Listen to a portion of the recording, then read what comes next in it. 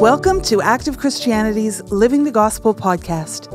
Join us as we talk about how we can live the gospel every day, no matter who we are, where we live, and what our circumstances are. Hello, podcast listeners, and welcome to another episode of Living the Gospel. I'm Kathy.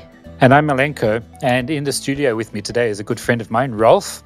Uh, welcome to the studio, Rolf. Thank you, and, and uh, hi, everybody. He's done a lot of work with young people, and uh, I'm really looking forward to this session. Me too.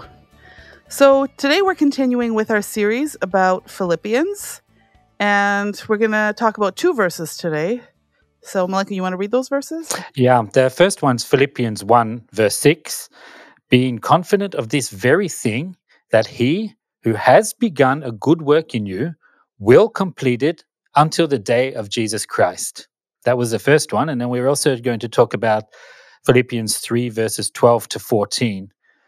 Not that I have already attained or am already perfected, but I press on, that I may lay hold of that for which Christ Jesus has also laid hold of me. Brethren, I do not count myself to have apprehended, but one thing I do, forgetting those things which are behind and reaching forward to those things which are ahead, I press toward the goal for the prize of the upward call of God in Christ Jesus. So maybe we can just start off, Rolf, by asking you what what kind of is your initial thought when you think of those verses? Well, the fact uh, when we think of the good work that he has started in us, now Paul he was talking to the Philippians and he was confident that God not only in himself, but also in the Philippians, he was going to finish that good work that he had started. And what is then the good work? Well, when we read in Romans, we can see that uh, everyone is under sin. Paul says there, there is no one who seeks God. There is no one who does anything good. And then we have gotten a desire to do God's will. By nature, we don't have that desire. By nature, we are rather the opposite. And that is the good work that He has started in us. He has ignited something in our hearts that we want to serve God. Now, that is the good work, and He will complete it in everyone who believes.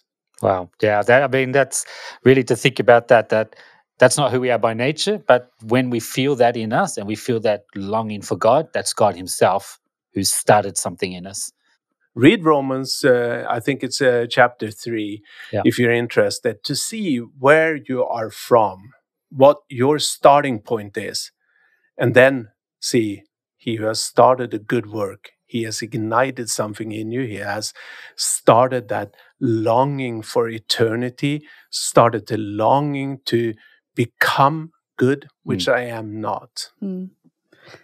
And it's just so encouraging because we know that when God starts something, he already sees the end and he knows already that it will succeed, right?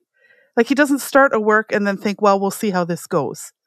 And the other thing is to think of that he started it in me not when I was perfect, but he started it in me when I wasn't even looking for him, when I had no nothing in me at all that searched for him or had a had a love for him that's when he started this work in me. Yeah. And that's what i have to respond to that yeah. he is working in me. Exactly exactly.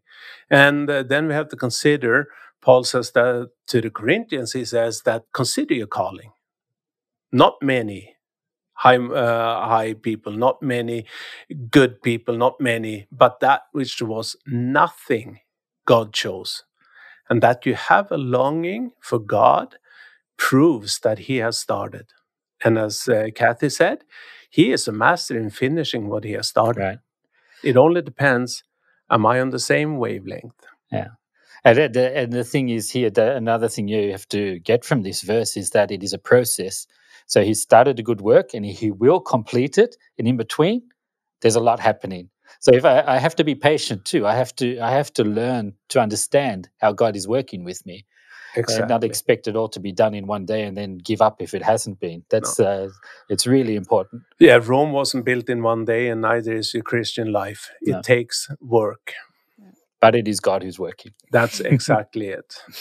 But that kind of leads me to my next question here. So it's written that he will complete the work in us and it's him that works in us, right? But in that other verse that we read there in Philippians 3, it says, I press on, I press toward the goal, I lay hold of. So, what is it that I am doing? We know God is working in us. What part is it that He is doing? And what is it that I am doing? Well, uh, my thoughts goes uh, right to Israel when they were led out of Egypt.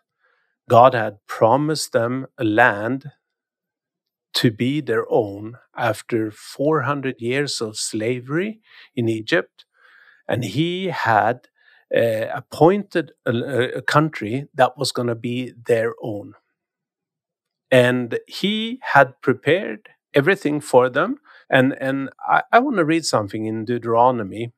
It's a fantastic verse that actually explains some of what we were talking about here that I press on, I do this, and so on. Because um, in Deuteronomy chapter 33, then, and then it starts from verse 26. I'm going to read a few verses here. And then, then it says, There is none like the God of Jeshurun, who rides the heaven to your help, and through the skies in his majesty. The eternal God is a dwelling place, and underneath are the everlasting arms. And he drove out the enemy from you and said, Destroy. There you see, even back then, when they were going to get this country that God had chosen, He had given it to them, but there were enemies in that country. So it is, He has started a good work in us, but in our flesh, there is resistance, and that is our enemy. Hmm. So, in that promised land, we can say we're coming into a new life, we are coming into this. Oh, I want to be like God, I want to be good, I want to be patient. I mean, I have a few kids, and uh, I thought before I was married that I could not be impatient with children. And I was used as a babysitter a lot just because of that ability. Then I got my own kids, and Hmm. boy, did the world turn around. And I found myself being irritated. I found myself caught in a trap of doing what I hated to do in my own country, my own promised country, the way of salvation. Hmm. Now, is it something God, wrong with what God is doing, or is it just what we read? He drove out the enemy. Suddenly, I see irritation that I never seen before, and he tells me, "Here it is, destroy." And that, that- that's the point that we really need to begin to look at it with God's eyes too. That this is the enemy, that's God's enemy. It's also my enemy then. And it dwells in me. It's in that promised land that's promised to me. There's the enemy. It's got no right to be there. So God's going to drive it out. And then he wants to use me to do that. Yeah. Mm. And so that, that's what becomes so fantastic when I see that the Almighty God is driving out the enemy before me, Yeah. and I have to I have to be along in that battle. Yeah, yeah. And I, sh- I shouldn't be surprised when I see it, right? Because it is there. The enemy is there. Exactly. And they knew that the enemy enemies were in the country. They sent out spies, 12 of them, one from each uh, tri- tribe, and only two Hmm. looked at it the same way as God did. They were not surprised when they saw the, the children of, uh, of Anak. They knew them, they had seen them before, but their motto was God has given the country to us. We will take them as if it was a piece of bread. Right. Mm. It didn't say that God was going to chase them away and destroy them, but He was pushing them out so you could see them f- out from their hiding places. They were driven out by God so that I could take them as a piece of bread. Right. Now, that's the eyes of faith. Hmm. And then when he drives them out, he's also he's he is giving you everything you need to then overcome them, right? He doesn't drive them out and then leave you to your own kind of resources or whatever to overcome them. No, He has, uh, as it says here, He rides the heaven to your help. And uh, in another verse in the in the Old Covenant, it says that the the eyes of God goes to and fro to the whole earth to powerfully strengthen them whose heart is fully with Him, with His power. So everything is there Mm. for us. And we, we have to do with it. It says here, He's an eternal God who rides the heavens to help you. I mean, this is this is incredible when you read what's written there. It is. Thi- thi- it this is. the God, and it. This was the old covenant. That how much more in the new covenant, Yeah. where this work that He sent His own Son to do is now being completed in us. Yeah. in me personally. Yeah, yeah. Isn't He going to ride the heavens to to help me Oh, to to thrust out the enemies? They destroy, and that's the strength He gives me through the Holy Spirit, and I can now go and do that. and and by faith. Now, the Bible is a fairly thick book with a lot of verses, but and it's hard to understand it all. But take one verse, bind it to your heart, bind it to your mind, use it as a weapon. For example, 1 Corinthians uh, 10 13. No temptation has overtaken you, but such as is common for men. And God is faithful. He will not let you be tempted. Listen to what Paul says here. He will not let you be tempted. So every enemy he drives out in front of you, every temptation that comes up from around next corner, boom, there it was. Now, no temptation will ever from this day right into eternity be stronger than what I am by faith in God's word. And then he says, but with the temptation, he provides a way of escape. Exactly. And what's the way of escape? It is to come to that divine nature, to come to that ah victory over sin, Right. destroying my enemy. So he gives he gives us the opportunity that we can come to that Exactly. with every temptation. And that means that I have to overcome. It is a battle, and that's the work he started in me, but it will succeed. He's Exactly. guaranteed it. He could have he could have gone ahead of Israel in the old times. He could have chased out every enemy of that country. And and you should almost say like you would have come to a set table, no problems, no temptations, no nothing. But where is the glory then? What what is the glory when you come to that? Hmm. I don't see any glory No, there isn't. No. The the value the value lies in it that I've given something. That. I have also shown that I am want I want to do this. I want to lay hold of that which God has promised to me. And then I'm obedient to him. Yeah, exactly. And obedience is like uh, Kathy said, I should not be surprised when I see the enemies because that is God who has now uh, been riding heavens to help me to drive them out so I can see them. So I shouldn't be su- surprised that they are there, but rather, oh, yes, here is an opportunity for me to actually come. I want it to be good. How am I going to be good if I don't see that which is evil Mm. and can't do something about it? Yeah. And then- we get to that next part, what Paul writes about that. He says, I, I haven't yet attained it, but I forget what's behind and I reach out for that which is ahead, that I can lay hold of that which Christ has laid hold for me of me. And uh, and th- that, that's the thing that that I can I can also, like you said, you think you've you've come to a certain uh, stage where I'm I'm pretty good now, right? I haven't I haven't got any more impatience, or I, I'm not impatient by nature.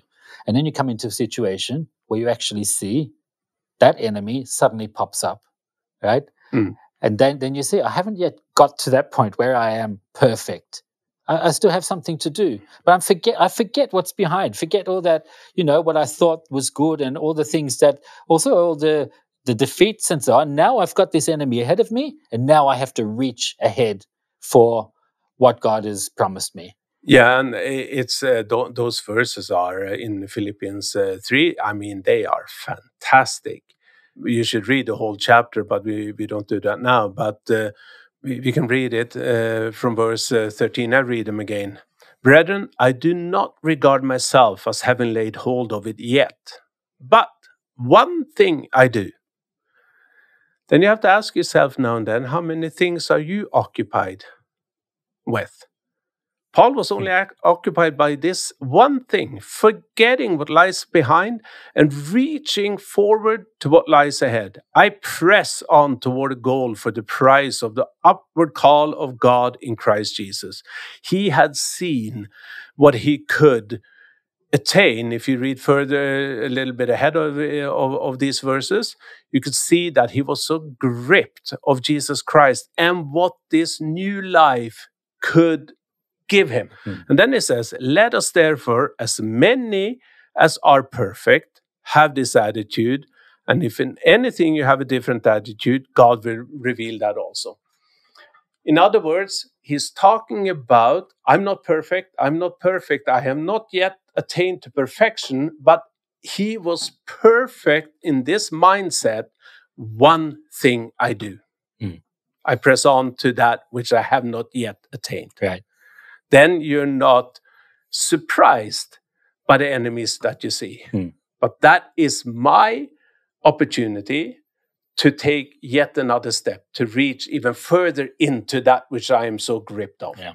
And that means that whatever comes up, I have that one goal. It Yeah. makes it very, very uh, specific what I'm doing, very goal oriented, and it means makes it very clear. So no matter what I meet in life, and if it's unexpected enemies or whatever it is, I have that one goal and I know what I have to do. Yeah.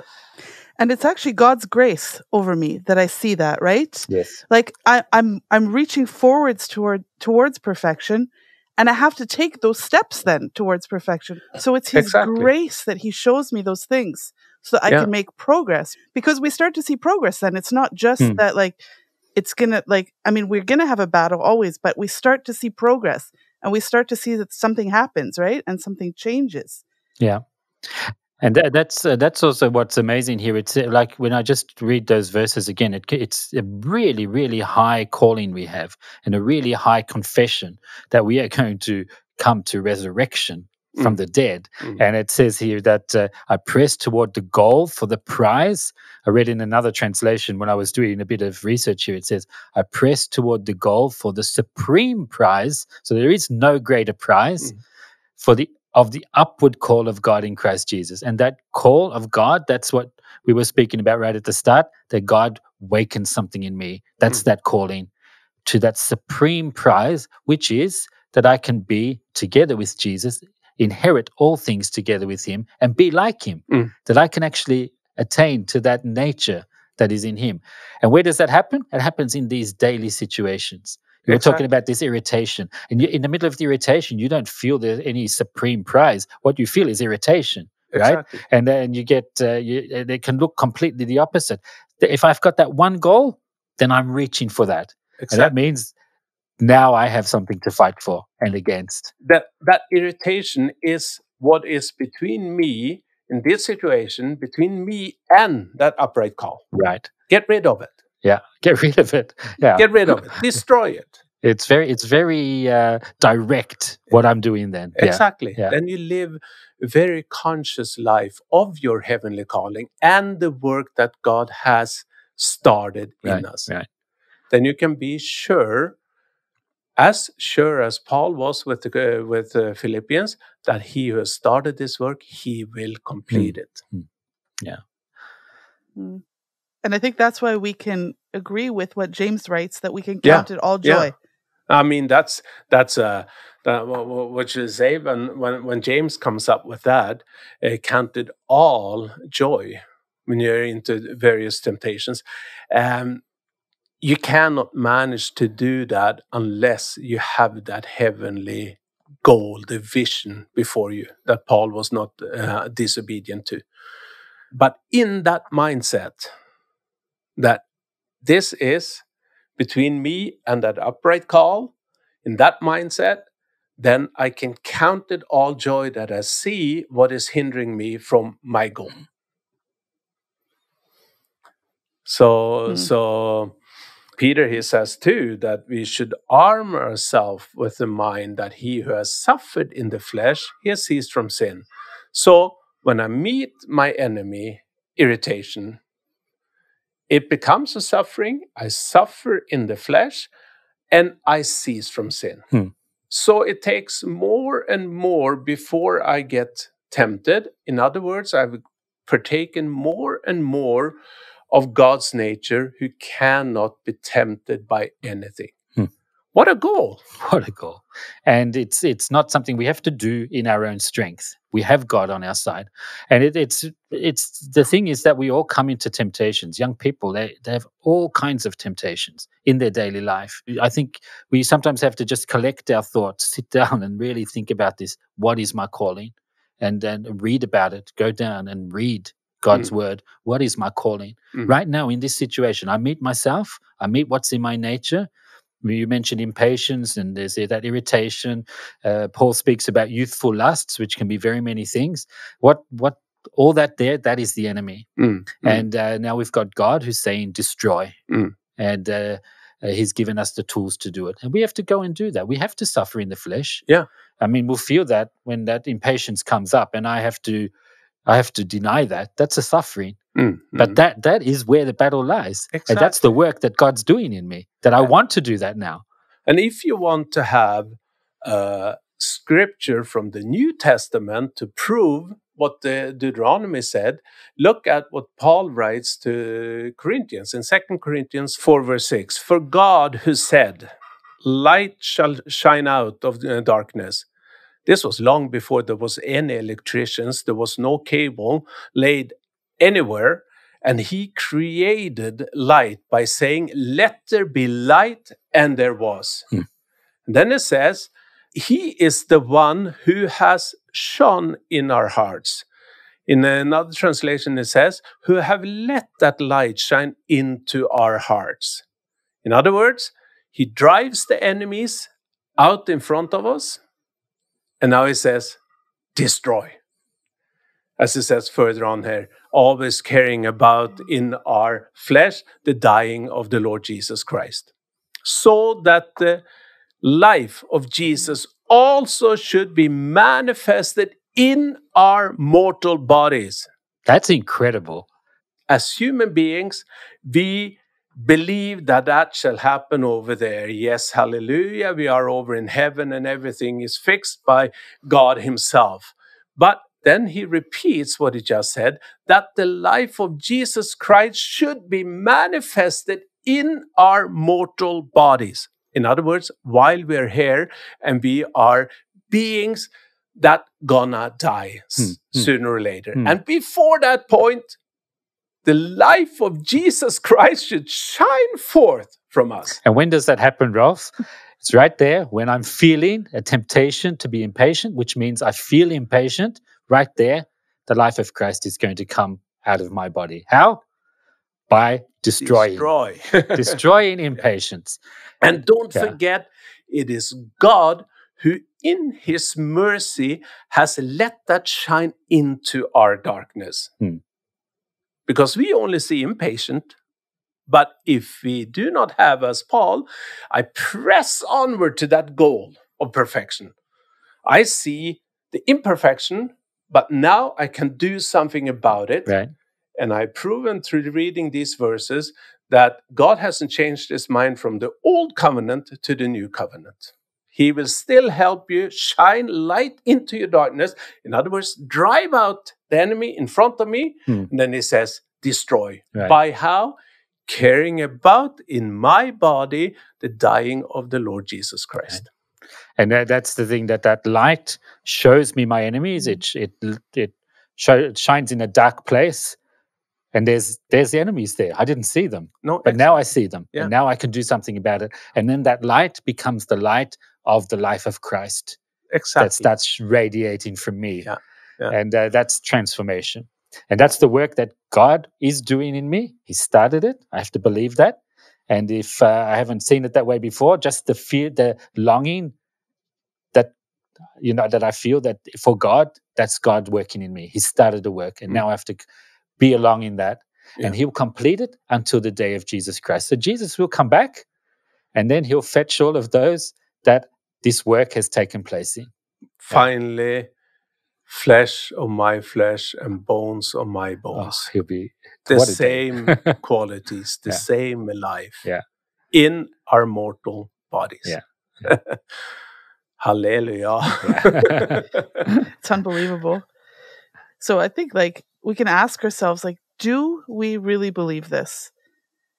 You know, and uh, do I really believe that this work will be completed in me? And I think that like this has been so incredibly encouraging. Can't believe I get to start my morning with this with this kind of encouragement. but I think like it's to we should encourage our listeners here to commit these verses to memory and believe in them when you're tempted. Right? Right. Like That's that when you need to believe. So, so we, we got some really fantastic verses here. Those ones in Philippians, and we've also got those from Deuteronomy 33. Go back and read that about the God, you know, who rides the heavens for us. Yeah. Take it to yourself. This is literally the truth. Yeah. And, and then we've got this from Second Corinthians 4, uh, where we really can, the same God that was in Deuteronomy, the same God we have today, shining that light.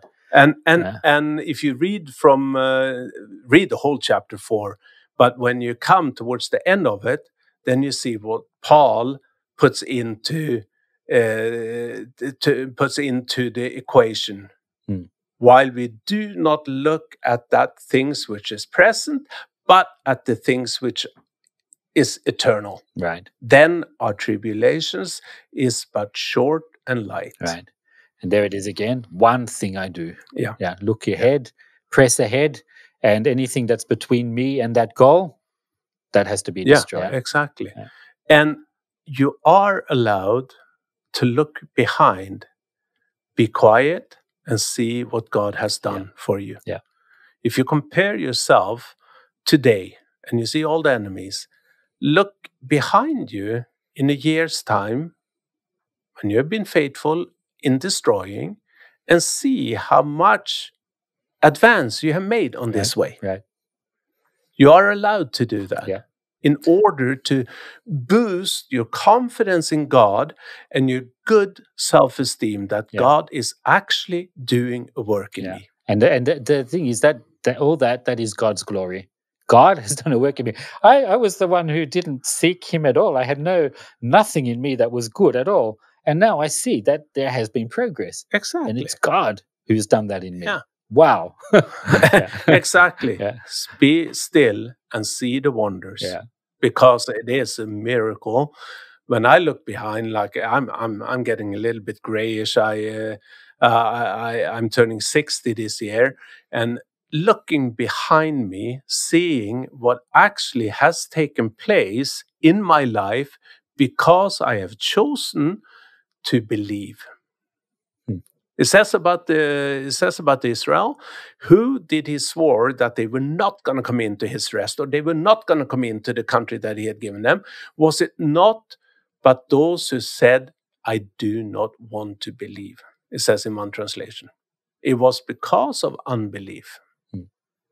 And when I see back where I have had faith, which is becoming my everyday life, I must say, when I see what faith has brought me, and compared to the times where I was, "Ah, I don't think it will succeed for me, see the difference, I must say, be still and see the wonders and miracles. Yeah.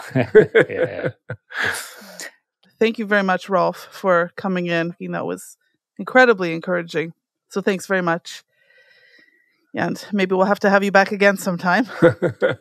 Anytime if I can strengthen young people in achieving our common goal to be partakers of Jesus Christ, I'm ready anytime. Awesome. Yes. We're right with you there. Okay, so um, we actually have an email address now. So if you have any questions about anything you heard, or if you'd like to reach out to us, you can reach us at livingthegospel at bcc.no. And we'll put that in our episode description for today as well, so you can find it there. So thank you for joining us again. And I truly hope this has been as encouraging and helpful for you as it has been for me. Yep. Thanks, everyone. And uh, join in next week again. Bye. Bye, everyone. Bye.